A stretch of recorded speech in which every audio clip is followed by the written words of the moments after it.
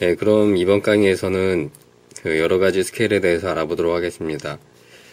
네, 일단 그 Lydian dominant scale, 어, 일단 그냥 Lydian scale 같은 경우에는 그, 어, 그 Ionian scale을 4도부터 재배열한 스케일이잖아요. 그래가지고 이제 편하게 만들려면은 어, Ionian scale에다가 그냥 4도에 어, 샵을 붙여주면 되겠죠. 그 리디안 스케일에서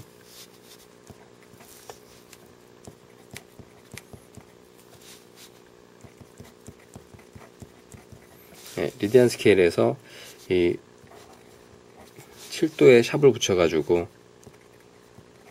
네, 이렇게 단칠도로 만들어주면은 장칠도를 단칠도로 만들어주면은 예, Lydian dominant scale이 만들어지고요. 그 다음에 Lydian augment scale 같은 경우에는 역시 그 어, Lydian scale에서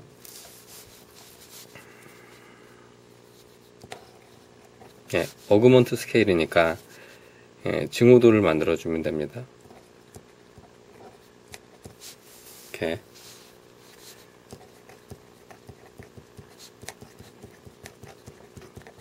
Lydian scale에서 완전 오도를 예, 증 오도로 만들어주면은 Lydian augment scale이 만들어지고요. 그 다음에 Mixolydian flat six scale 같은 경우에는 그 일단 Mixolydian 그냥 Mix 아, 그냥 Mixolydian scale은 그 장조를 그 5도부터 재배열한 스케일이잖아요. 아, 그 Mixolydian scale에다가 뭐 Mixolydian scale을 쉽게 만드시려면은 7도에다가 그냥 Ionian scale에 7도에다가 플랫을 붙여주면 되고요. 그 다음에 Mixolydian flat six scale은 역시 예, 스케일 이름대로 예, 6도를 예, 단 6도로 만들어주면 되겠죠. 예, Mixolydian 스케일에 장6도를 단육도로 만들어주면은 Mixolydian flat six 스케일 그 다음에 그 augmented 스케일 같은 경우에는 역시 예, augmented니까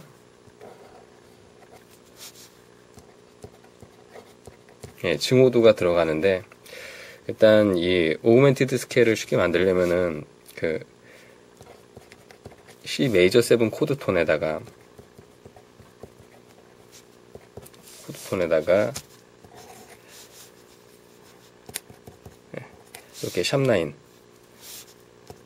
예, 샵라인스랑 그리고 예, 증오도랑을 추가를 시켜주면 되겠습니다. 얘랑 얘랑 이렇게. 그러면은 예, augmented 스케일이 만들어지고요. 그 다음에 다음에 diminish 스케일 어, diminish 스케일 같은 경우에는 한번 했던 건데 예, 잠깐 짚고 넘어가자면은 자 얘네들 간격이 온음 간격이잖아요. 온음 반음. 온음 반음. 온음 반음. 온음 예, 이렇게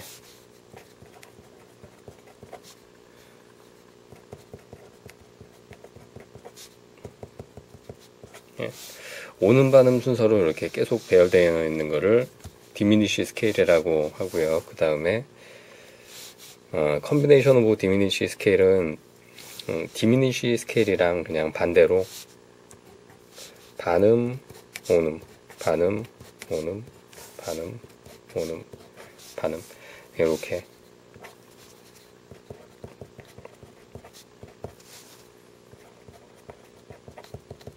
이렇게 반대로 반음 온음 순서로 되어 있는 거를 combination of diminish 스케일이라고 하고요.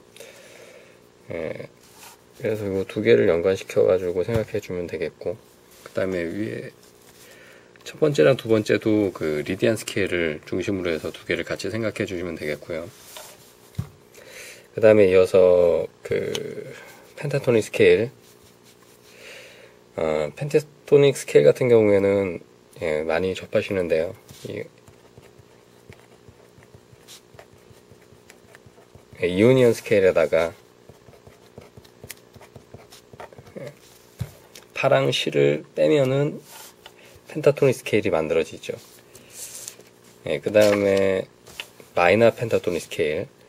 예, 요거는 major pentatonic 스케일이겠죠.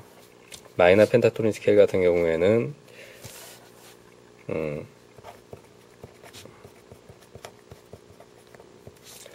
C minor 코드 톤에다가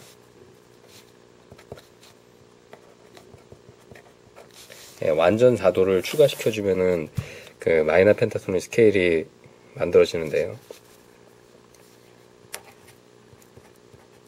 이렇게 그래서 예, 코드 톤을 미리 알고 있으면은 스케일을 이해하기가 쉽겠죠. 그 다음에 블루스 스케일. 어, 블루스 스케일은 이제 minor pentatonic이랑 좀 연관지어서 생각하면은 좋은데요. minor pentatonic 스케일에다가 예, 감 5도를 추가시켜주면은 여기 감오도를 추가시켜주면은 예, 블루스 스케일이 만들어집니다. 예, 블루스 스케일도 음, 상당히 많이 쓰이는 스케일이죠. 그 다음에 블루스 7 노트 스케일은 음, 역시 블루스 스케일이랑 연관지어 가지고 생각하면 좋은데요. 예, 블루스 스케일에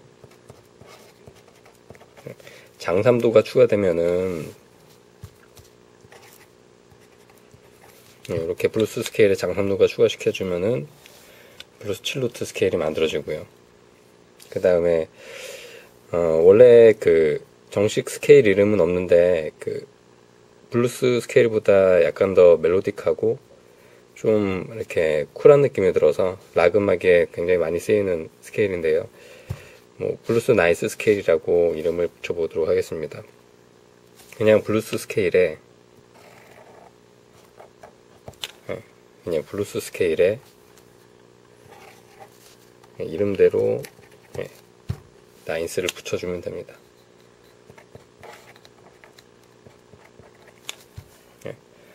이렇게 이렇게 어, 펜타토닉부터 연결지어 가지고 생각해 보면은 스케일을 정리하기가 쉽겠죠. 예, 이렇게 여러 가지 스케일을 알아봤고요. 다음에 강의에 이어서 계속 알아보도록 하겠습니다.